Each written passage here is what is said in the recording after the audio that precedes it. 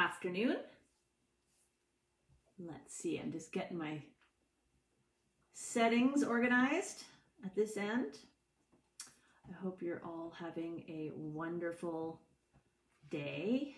And here in Eastern Ontario, it's sort of snowing, sort of raining. Uh, I'm a little bit sad that we're getting rain on top of all the beautiful snow we've finally had this week. Uh, those last couple of weeks, we've had very little snow this winter, uh, which is which is convenient. It's it has stayed um, very uh, it stayed frozen, which keeps the dogs clean, and I'm always grateful for that. But I do like some snow in winter uh, for a number of reasons. One of them being that it really helps build up the musculature in my dogs in uh, with less effort on my part. So one of my favorite things to do, which I've been doing this week, is throwing on um, my snowshoes and going for a hike in the deep snow and letting the dogs uh, have a good run and everybody gets great workout, myself included. We often, if we have a good winter where there's not too much ice and there's a fair bit of snow, uh, we usually come out of winter in better shape than we go in. So it's it's a really great uh, opportunity for getting us all into condition for spring training. Anyway, hello, welcome. Um, Hélène Lawler here. And if you're new to me, I coach um, frustrated, anxious, stuck in foundation land dog sport trainers who are looking for um, the tools and skills they need to really achieve the results they're looking for. And I do that by teaching critical concepts in uh, in animal training in general and dog sport training specifically and mindset coaching. So what I've been doing for the past few weeks is this short series on some critical con some of the critical concepts in in animal uh, training and um, uh, and and applied uh, training with your dogs for for dog sports or for anything that you want to train them to do. And we have looked at a series of these concepts over the last month. Today, I'm going to be doing my uh, final concept for uh, to conclude the series, which is about loopy training. And this is a term that is becoming more and more um, uh, widely used, which is great. Uh, a lot of people may be curious to know what it's about and how they can apply it in their training and whether or not they're actually already using it in their training. So this is what I want to talk to you about today. All right, so briefly, uh, last week we talked about poison cues, and I explained that a poison cue is a cue where the dog that, that the dog receives, um, given by the handler, but it can also be an environmental cue where the dog no longer really has clarity around whether the behavior that they do will create a positive result or a negative result. And so we uh, that so what ends up happening is you have a dog who starts to uh, show poison cue behaviors, which typically plays out as being very getting very slow, getting hesitant, um, becoming reluctant to engage. They often will do the behavior they're asked for, but but not with that like nice, snappy, happy um, uh, body language that we love to see and and the speed and precision that we we want in dog sports. So an example would be uh, from everyday life. An example would be, let's say you you have your dog out in the yard and you recall your dog into your house. You recall your dog to you, and um, and the dog slowly comes to you. Well, why is the dog slowly coming to you? Well, the dog is slowly coming to you because sometimes when you call your dog, your dog gets a treat, or you play with them, or something good happens. Maybe it's dinner time, and so on. Um, so so the dog knows that sometimes when they come when they're called in the backyard um, something good happens. Other times you just call the dog in um, because you need them to come in. Maybe you're going out, maybe um, you know you've got visitors coming or something. Anyway, you just call your dog in and you bring them into the house, and the dog is like, "But I don't want to be in the house. I want to be outside." So the dog is uh, comes because they are, you know, your dog is wanting to be a good dog, which is always my assumption. They always want to be a good dog uh, but the dog doesn't know is is something good going to happen or is something unpleasant going to happen if I listen. So they're going to slow down. We see this in dog sports in a lot of places. So, for example, um, the most common one that I come across in my coaching is people who come to me with um, start lines where the dogs won't, they either won't hold their start line or they won't leave their start line. And in that case, we often also have a poison cue. And that definitely is something that I see a lot that is the result of, of the training methods used to train start lines, where the dog is um, one of a very popular way to train start lines is you have your dog who is holding, you get them to hold their start, and then you know you throw a toy, and if the dog moves to get the toy, the toy is grabbed and or covered up or somehow somehow the dog loses loses access to the toy so that's that's actually negative reinforcement. It's and um, and the dog you know can can actually find that uh, aversive so then um, then they're like okay i don't know if i should go or not. So they start to become uncertain. I, I, I don't know. Am i supposed to run forward or am i supposed to stay still? If i sometimes when i get released things you know if i sometimes when i move good things happen. Sometimes when i move not so good things happen. So i'm just going to stay here.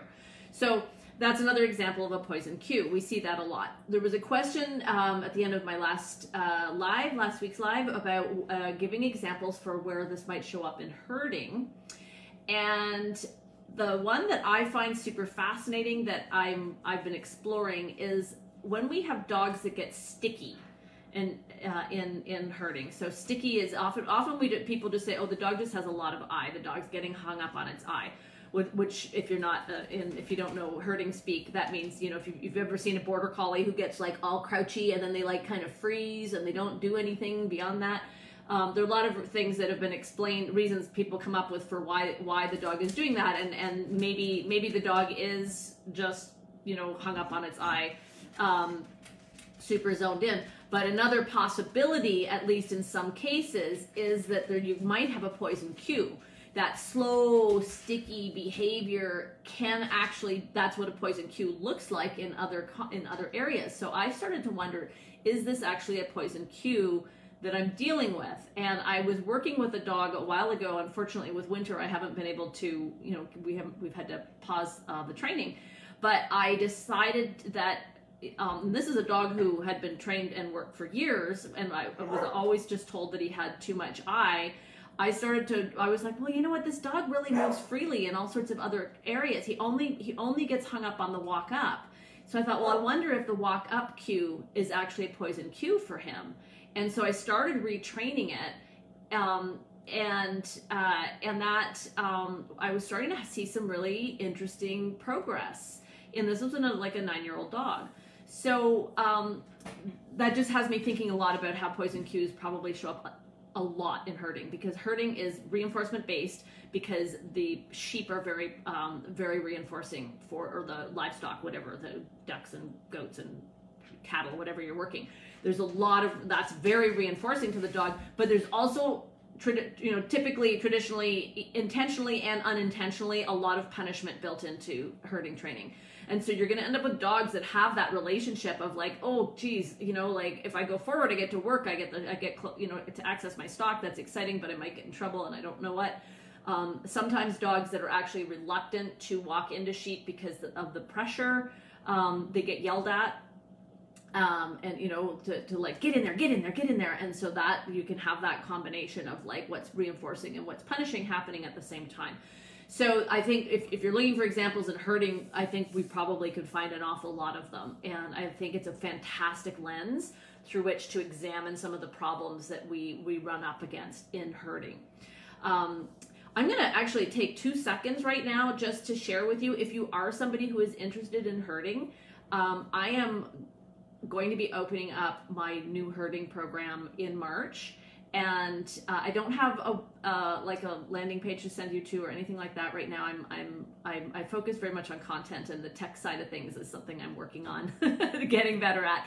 Um, but if you would like to know more information about it, you can either throw um, your name in the comments, uh, send me a private message, or join my email list at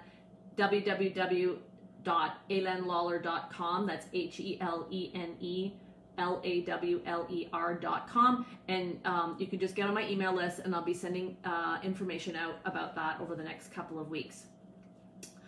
So I'm just going to have a sip here. That's great, Annabelle. I'm, I'm really excited about the program too. I think it's going to be amazing. I just I have this vision for it. It's going to the the I'm, I'm gonna I'll, I'll be sharing more information about it um, uh, in in hopefully by next week. So awesome. Great, Barbara. You're absolutely love to have you as well. Okay, so poison cues. Back to poison, back from poison cues. Um, so, uh, as I said last week, there are several ways of, of fixing a poison cue. The first simple way is you just change the cue. And so you you just pick a different word or or whatever it is that cue is cueing the dog. Now, as you know, having gone through this series of talks, and if you haven't, go back and listen to them. Um, uh, what what is cueing our dog is not always what we think is cueing the dog. So dogs respond in this const, what I call a cue picture. So we may say a word, but it's not necessarily the word that's cueing the dog. There may be something else in the in the cue picture, in the environment, in the context in which this is all happening that is cueing the dog. It might be coupled to the to the sound we make. It may might not have anything to do with what the sound that we make. It may very much be, you know, a movement we're making, a prop in the environment, or something else. So we need to figure out what is actually cueing the dog, what is actually the poison cue. It can take a little bit of triage. And then you can swap that out for a new cue and uh, and and work retrain the behavior and and fix the problem. So that's a that's a great um, solution, very straightforward solution when that is possible. When you can identify the cue and when you can swap it out. I talked about matching law HAL last time. I'm not going to recap that. That's not not a way I'd even recommend doing um, addressing poison cues. Instead, the third way that we we can fix a poison cue um, is by using loopy training, and that's what I want to talk to you about today. Talk, uh, yeah, talk to you about today. Sorry. Okay, so what is loopy training? This is actually a um, it's it's a simple concept and it's a and a, and a it can be a little tricky to get your head around. Um, the bottom line of what loopy training is is it's actually just good training, and I'll explain why in a second. Um, but first, I'm going to step back and describe what a loop is in in training. So, when our dog does a behavior, or when we do a behavior, um, we we actually go through what's called a movement cycle. And I'll give you a very simple example of that, and that is sitting. So I'm just let me just push my chair back right now. You can't really see me very well, but you'll get the idea. Um, and I actually, this is so simple, but I encourage you to like stand up with me right now and and do this uh, with along with me. So you're standing, and then you sit. Okay, that's actually half a movement cycle. That's not a whole movement cycle. You have to stand back up again to, um, sorry, I'm just realizing that uh, there's some, the light in the background is making me quite dark, uh, to complete the cycle. So standing up, you start standing, you sit, that's half of your movement cycle, and then you stand back up again and you complete the cycle. So if you think of it that way, you have a loop you have this loop of standing, sitting, standing, standing, sitting, standing. Your dog stands, lie down, stand, stand, sit, stand. So you have that's that's a full movement cycle. If you don't if you don't go to the end of the cycle, you only have a partial cycle. And so we want to think about how behavior works in terms of a loop, in terms of a cycle. Now, and I, I actually did describe this a little bit last week, um, but when we are taught the typical ABCs of uh, behavior, um, we're, we're told so you have A, antecedent, uh, goes to B, uh, behavior results in C, consequence, right? And actually, um, I two weeks ago I talked about how actually we can include uh, craving into that sequence. So you have A as your antecedent, your cue picture, what what um, triggers, uh, tell you know sets things up, the context, and then that tr- tr- triggers a craving uh, that then um, inspires the behavior that the that the learner does um, in order to get the consequence that they seek. Okay, and and when when you think of it that way, it we think of it as in a in a linear fashion. But the reality of how uh, behavior happens in practice is it happens in in these loops, in these cycles.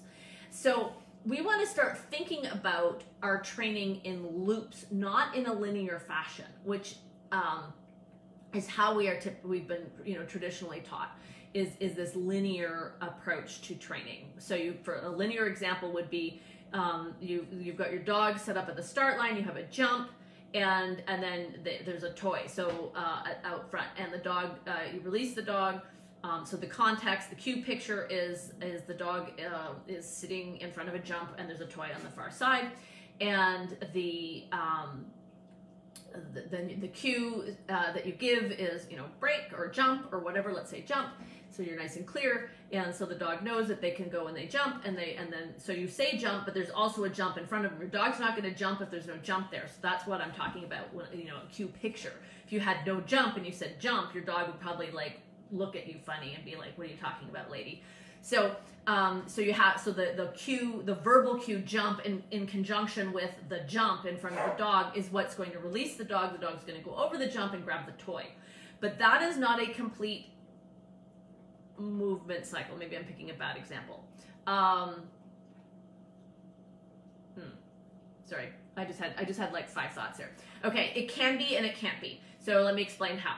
So the the idea the, the end of a movement cycle uh, a, a, movement cycle is complete when the the organism is back in the position to be able to do the the movement again so if your dog you start your dog at a jump the dog goes over the jump and and then lands that is a complete movement cycle in terms of that jump that the dog could then jump again right?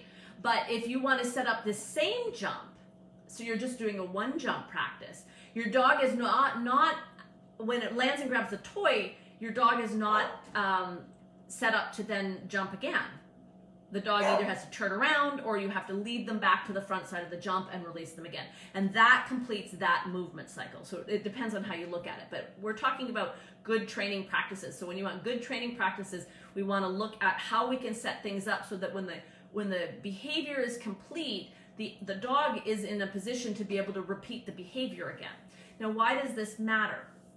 So you have your movement cycle, and then when you add in your reinforcement, the cookie or the toy or whatever, that will reinforce the whole cycle. It doesn't just, so we're, we think, so like, send the dog over the jump and the dog gets the toy. We think the dog is, uh, what we're reinforcing is um, the jumping. But that's not necessarily true. So let's say we release the dog. This is a typical scenario. Dog goes over the jump grabs the toy, starts shaking the toy, runs around, like does a couple of laps, a victory lap with the toy in his mouth. He's all happy, he's all proud of himself. Um, and then he finally comes back to you, and then you play a little bit of tug, and then you finally get him, and he doesn't want to let go of the tug, and then he finally lets go of the tug, and then you're like, okay, and then you bring him back to the um, to the start line uh, to set him up to do the jump again. That whole sequence is in fact your loop that has been reinforced and becomes the pattern. Now, what ends up happening then is okay, we, we, we reinforce the jump, the jumping, which is good, but we've also reinforced the victory lap. We've reinforced the shaking and playing with the toy. We've reinforced having to sit there and wait for two or three minutes while our dog is running around doing its thing. We've reinforced the dog coming over to us and then having to, you know, maybe have a little bit of a battle to get the toy out of their mouth.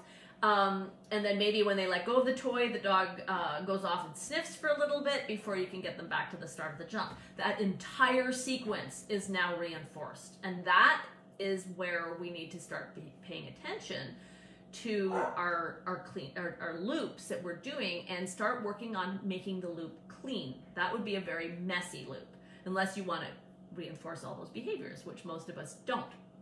So, if we think of our training, if we set up our training intentionally to be a loop that would be clean so that we're only reinforcing what it is that we want to be reinforcing, then you would do something like you would have your dog go over the jump to the reinforcement and then um, have a way to immediately bring them back to the start line. Or you could have another jump set up in front of them. So they go over the jump, land, get their, their treat, and then they're set up to do the next jump. Land, get their treat, set up to do the next jump, land, do their treat. Okay? Um, uh, there's a great exercise by um, in the book um, Agi- uh, Agility Right from the Start uh, called the Bermuda Triangle for doing uh, weave pole entries. And you take uh, three two by twos and you put them in a circle. And so the dog goes through the two by two, and then it's set up to do another two by two, and then another two by two, and they just keep going around in a circle. And then you have this beautiful loop where they're just practicing their their entries over and over and over again. And each time they finish the one entry, they're ready to start the next entry, which is right set up in front of them. So it's a little hard to just describe this abstractly. Um, I'm, uh, you know, without, I can't really give you a demonstration on the Facebook Live. I don't have enough space in my house. Um, I do actually have an entire workshop on um, on loopy training and also on loopy listening, which takes it to the next level. These are these are housed inside my coaching program, Dog Sport Scholars which I will be opening up later this week if this is the type of training you're interested in really uh, learning more about and, and growing and, and advancing your skills. All the concepts that I've talked about over the past month, they're all, I, I have workshops um, of like full length, like two hour workshops on these topics uh, within the group that you can, you can um, access if you join. And Oh, thank you, Barbara. I'm glad that you you think that I explained that well. I I, I have it in my head very clearly, so I I, you know, I acted out with my hands a lot. Um, but um, I I do find that if you know having the step by step in practice with some some video uh, to demonstrate and then get you out there actually um, doing it in practice is the best way to learn how to do really nice clean loops. And so getting back to poison cues, the um, the way the reason that that the clean loop uh, will cure a poison cue is because we can trim out we can get very very clear on what it is that we want the dog to do and and reinforce specifically that and make sure that we eliminate anything that might be um, punishing or aversive to the dog in the loop and then and then we we you start with a very small loop so the smallest very uh, loop of all is just the feeding loop so literally, sometimes we have to go right back to scratch. Like, can your dog just take cookies out of your hand in a calm fashion? Just go click, treat, click, treat, click, treat. That's the smallest loop, the eating loop. And then you, and then we can slowly start growing, um, expanding that loop and adding in other things. Maybe it's like a hand touch, click, treat, hand touch, click, treat. Follow the hand, touch the hand, click, treat. And then you can see how we get this loop that's growing bigger and bigger. So when we start training, we want to develop more complex behaviors. We want to actually really break them down into this sort of step-by-step process. So when you want to have a plan ahead of time where you can you can sort of have your criteria um, progression established in such a way that you're always just adding that next little step into your loop. Now, one of the things that's really, really important with, with loopy training um, is that um, one of the, the mantra of loopy training. So I, actually, I should I should step back. Loopy training is a term and concept that was developed by Alexandra Kurland, who is a phenomenal horse trainer. And uh, she has a wonderful podcast called Equiosity. If you're looking for um, some great resources on loopy training, I think I've, I've got a couple that I can, I, if I if I can dig them up, I'll, I'll throw them in the comments. But um, uh, check out Alexandra's uh, podcast, Equiosity. It's a, it's a horse training podcast and has some of the best um, training advice for dogs that you're going to find on the, uh, on the internet.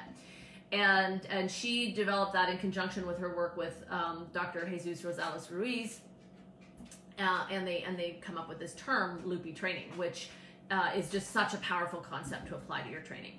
Sorry, I should have I should have said that right from the start. So look look up what her work if you want to really go for a deep dive into it. Um, and she does it with horses, and then more and more people are applying these concepts. Um, in uh, you know like uh, even Emily over in Sweden and Hannah Brannigan and and and lots of people Megan Foster and so on and so forth. They're all starting to apply loopy training into their um, into their various dog sports that they do, agility and obedience and so on. It's, it's a really powerful tool. So my, my hope here today is just to bring uh, some awareness to you about what it is, because you're probably hearing the term and, and, and how, like the basics, the fundamentals of it. And then, um, you know, we can, we can have more, more, um, uh, more discussions around, around what it can look like in practice in the group if you want. But basically, it's just a really important concept for learning how to have um, very thoughtful, very clean behavior so that when you are adding in your reinforcement, you are reinforcing specifically exactly what you want. And that way we, we avoid getting poison cues among other problems. We avoid building in a lot of junk behavior, which is so, so common.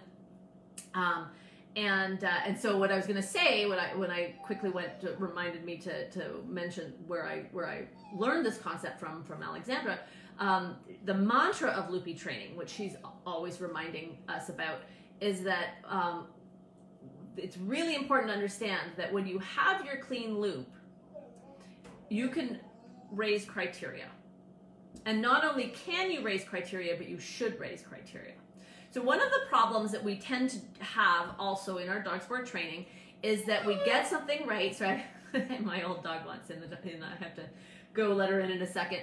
Um, when we when we have our um, uh, we get we get something correct, we tend to do it like ten times. Oh, right. This is what I want to say. So traditionally, a very common way of um, uh, of training, which comes out of different schools of thoughts, is this whole idea of you need to get your dog to, to do the behavior correctly 80% of the time before you change criteria. And so let's say you, you do something, um, uh, you do a behavior that your dog does a behavior correctly once. And you're like, great, let's see if we can do it again.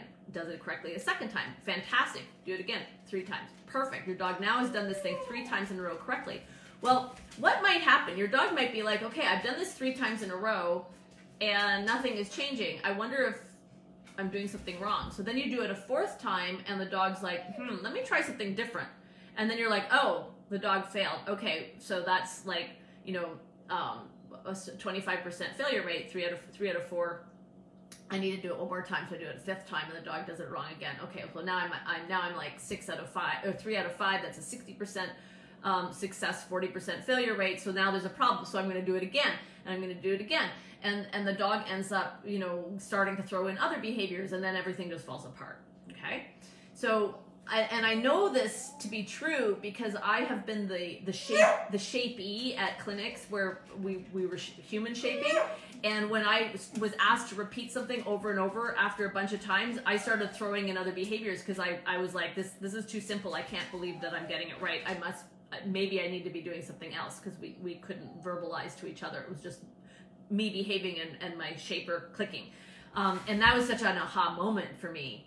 And how we, we just we drill our dogs and then the dogs start the behavior starts falling apart and the behavior starts falling apart because we're asking them to repeat it too many times and they're like okay um, I must be doing something wrong because we're not we're not progressing here okay so when you're doing your clean loop training you do your loop your dog does it once Technically, if your dog does it correctly once, you can move on. I usually like them to do it twice. If I see the dog do the behavior twice in a row correctly, I increase criteria. So anytime I see that, and then I and then we we work on it till we get the clean loop again, repeat it a couple of times, increase criteria.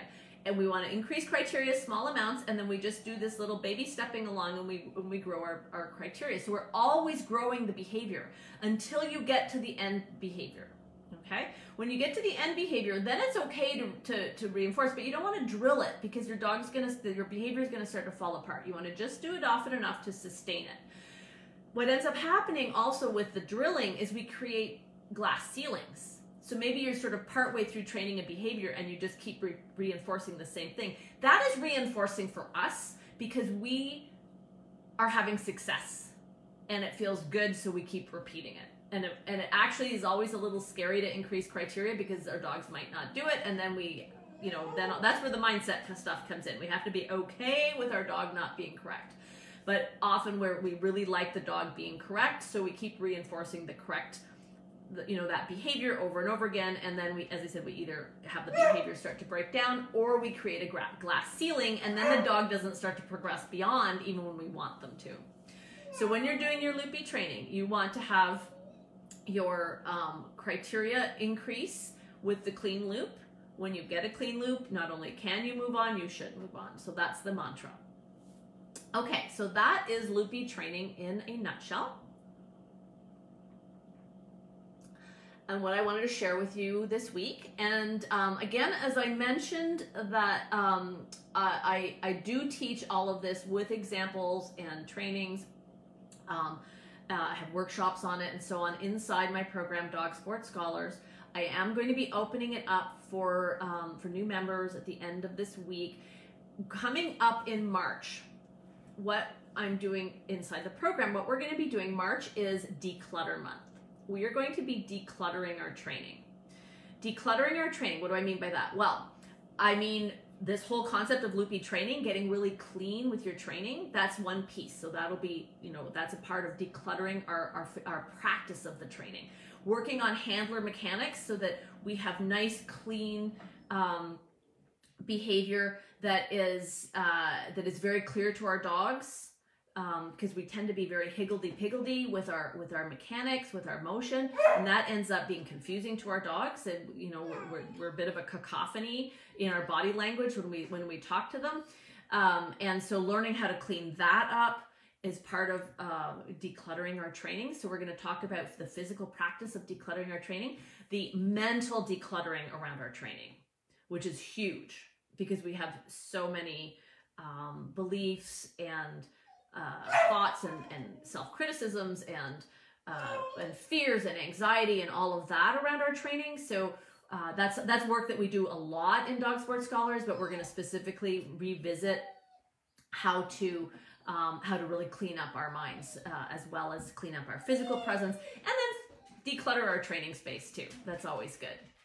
Uh, so if, if you're interested in uh, in joining me on this um, journey, I would love to see you inside the group. Um, again, it's not uh, it's not open just yet. I'm going to open at the end of the month, um, or at the end of this month, which is the end of the week. So you can just join my um, email list at www dot Hélène Lawler, H-E-L-E-N-E-L-A-W-L-E-R dot com, and I'll be sending out more information later in the week.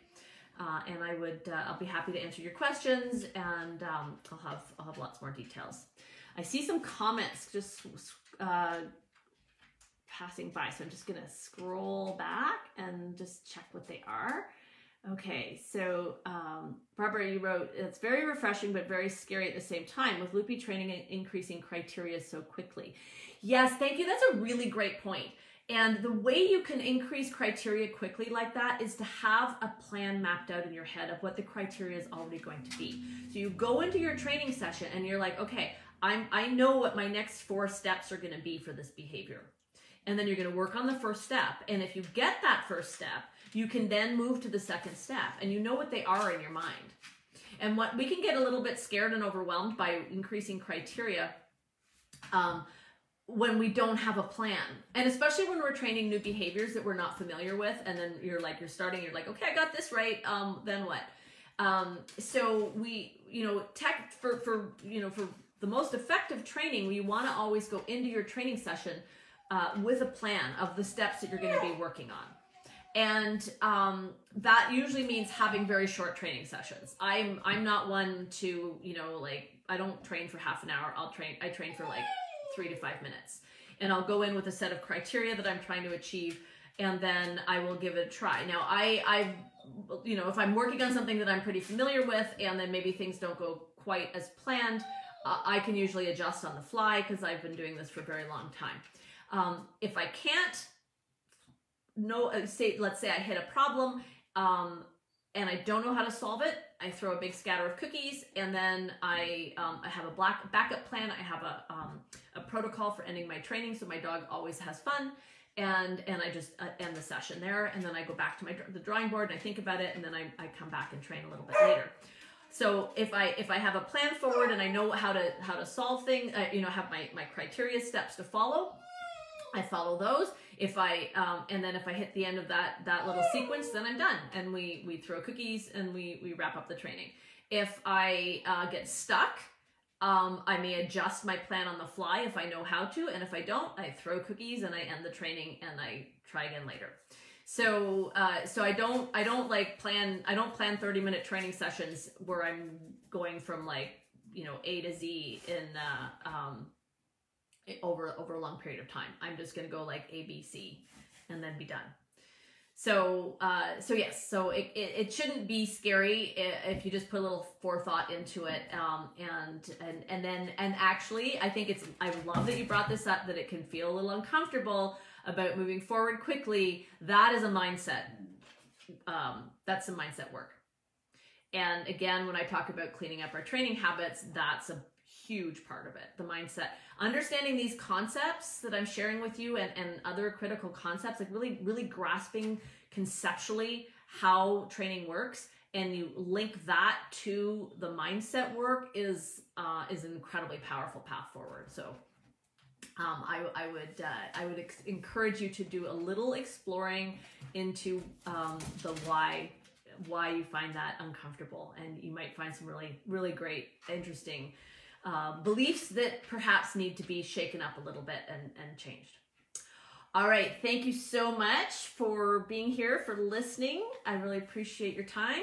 Hope this was helpful, and I will talk to you again soon. All right, bye. Have a great week. Uh, how do I end this? There we go.